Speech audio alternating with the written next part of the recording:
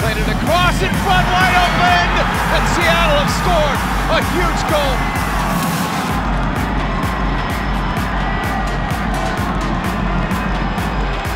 All that momentum gone.